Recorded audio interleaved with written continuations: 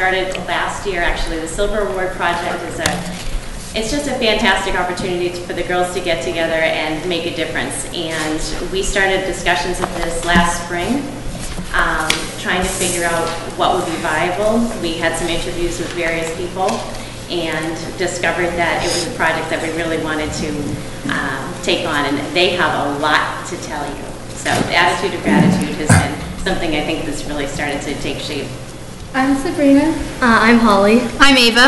I'm Charlotte. Okay. and we are Hopkinton Girl Scout 8th grade Cadet Girl Scout Shoot 68243. Thank you very much for this opportunity to share our Silver Award project and attitude of gratitude.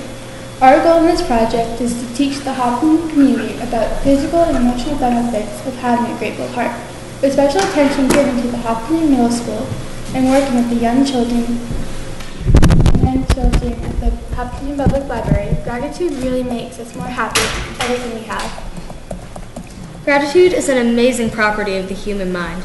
The more gratitude we feel, the happier we'll be. Gratitude helps us to reduce stress and increase productivity. It makes us feel much better about ourselves and others. But one of our very first thoughts in our project was how. How could one positive emotion impact our lives so greatly? It all starts with one powerful chemical called oxytocin, also known as one of the happiness hormones. This hormone can be triggered naturally through being with friends, family, playing sports, and lots more. One main thing that triggers oxytocin is gratitude. When participating in grateful activities, such as writing consistently in gratitude journals and making gratitude rocks, our relaxation levels increase dramatically. We become more energized and our sleep quality even increases. But the key to a grateful heart lies in the repetition. The more we show our gratitude, the more grateful we will be. To work towards our project's goals, we did some online research. We then met with psychologists Elizabeth Daniels and Kim Manning last spring in their Hopkinton offices to learn all about the positive effects of gratitude and created the trifold you see here to help us share about our subject. Next, we went, met with Miss Benbenick, assistant principal, and Miss Grady, eighth grade English teacher and gratitude guru at Hopkinton Middle School, to determine the best ways to deliver our message to the school. Since then, we set up a table at back to school night, constructed flyers with gratitude facts, and posted them throughout the middle school. The, and the art department contributed beautiful student art to the gratitude themed display in the main lobby. Most recently, the guidance department allowed us to contribute to Random Acts of Kindness Week by making and distributing 1,000 inspirational sticky notes for school lockers, creating gifts and gratitude bookmarks for English teachers and their students, and hosting an ed- educational table where student- students and teachers wrote 70 thank you notes to the office staff, school nurses, and custodial and cafeteria staff. We have had many opportunities to reach the Hopkinton c- community about our message about gratitude. We created gratitude rocks with fun sayings, and at the annual Girl Scout Fall Sing, we had children decorate them. These rocks help, peop- help to remind people to think about a few things they are grateful for each day. Thanks to the hospitality of the Hopkinton Public Library, we are allowed to display our project in the lobby there and held gratitude filled raffles, which we have since distributed to three lucky residents. At Caroling on the Common, we displayed our project and sold gratitude ornaments. On Martin Luther King Day, we hosted, hosted a table where people could write thank you notes to give to friends, families, and teachers. We also talked about how wonderful the Respite Center is and gave people the opportunity to leave them thank you notes as well. We have many gratitude projects to come.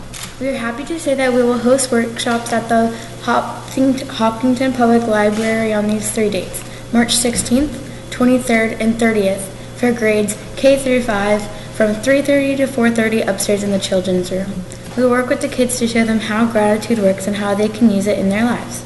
We will, we will do activities like crafts with gratitude rocks, gratitude journals, thank you cards, and fun books they can read. We are excited to host a table at HMS March 20th, Rise Up Day, with information on the Respite Center, for which our troop is especially thankful for. We plan to make a permanent appreciation station at the middle school where kids can write to their friends or teachers and also hope to make an online gratitude journal with gratitude prompts that kids can write in and reflect every day. We are trying to make a sustain- sustainable project that can stick with people in this community. Thank you for listening, and I hope everyone can incorporate gratitude into their everyday lives. We have a poster we'd like to share with you, some of our favorite parts of this project, and we can answer questions now. That's awesome. Very nicely done, girls, very nicely done. Um, Mary Jo, why don't you start us off? Okay, well, I want to congratulate you, and particularly with the theme, attitude is, and gratitude. We need a lot more of that right now. Um, I was going to ask you, what are you doing with your posters after today? Uh, we display many of our posters at the Hopkinton Middle School, which is where we go to school, along with um, some beautiful art displays completed by um, students at the school. We, we have elections right now, and we have people coming in and out of the town hall every day and for another week. Uh, And I would love to see you put them in the front hall, here at town hall for a week. And then you can take them to the school. Would that be okay? Yes, that would be You could do great. that? Okay. And that is all right with, you, you can put them down there? I do believe we make the rules, so yes, it's all right. Yes, a- and in fact, through, through the chair, I also want to take this opportunity to thank you for coming to Town Hall. I remember when I came in contact with you on MLK Day and extended the invitation for you to come before the board, and I told you everything will be fine.